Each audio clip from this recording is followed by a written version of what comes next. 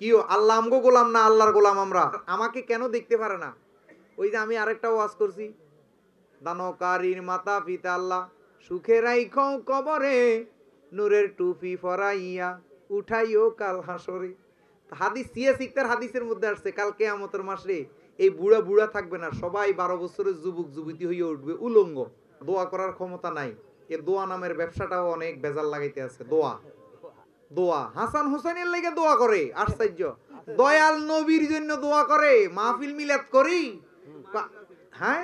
আল্লাহর নবীর জন্য দোয়া করে। কোন তো। নাউজুবিল্লাহ কইতেন না? সব বাদ দেন আল্লাহরে গোলাম বানায়। আল্লাহরে দিয়া বস্তা বাঁধি যত নেক ফয়েজ বরকত আছে সব আল্লাহরে দিয়ে সবুজ গম্বুজে ফাটায়। আয় হায়। আল্লাহরে কয় আল্লাহ ইয়ার হাদিয়া সবুজ গম্বুজের নিচে পৌঁছাইয়া দাও কি একটা কান্নাও দেয় চিন্তা করেন আশ্চর্য। কি আল্লাহ আমগো গোলাম না আল্লাহর গোলাম আমরা? এরপরে আমার আমাকে কেন দেখতে পারে না? ওই যে আমি আরেকটা ওয়াজ করছি।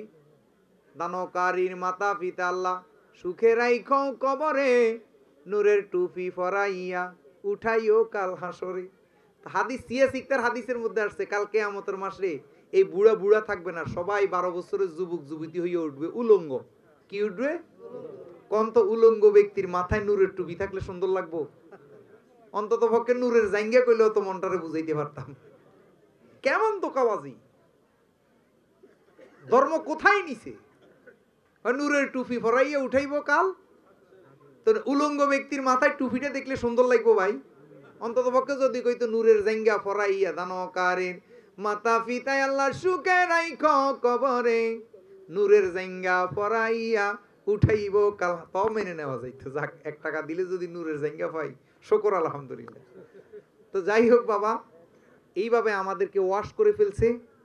এখন আমি তাদের চোখের কাটা হয়ে গেছি। হয়ে যায় আমার কোনো আপত্তি নাই। হুসাইন শহীদ হইছে। আমি এক গোলাম মঈনুদ্দিন মোল্লা আরও কোটি গোলাম মঈনুদ্দিন সত্য নিয়ে দাঁড়াইয়া যাবে, কোন সুবহানাল্লাহ।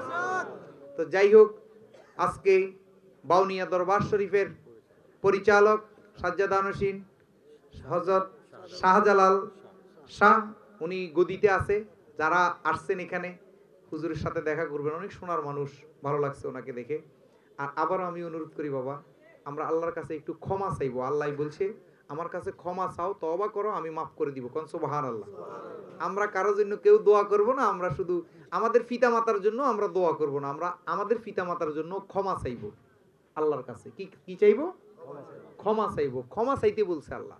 তো যাই হোক, সবাই, আমি অনুরোধ করব, জুতাটা খুলে, জুতার উপরে পাওটা রেখে আমরা সবাই একটু তবা করে নিই, এরপরে আমরা এই সুরা ফাতে একবার, সুরা একলাশ্বরী তিনবার পড়ে নিই।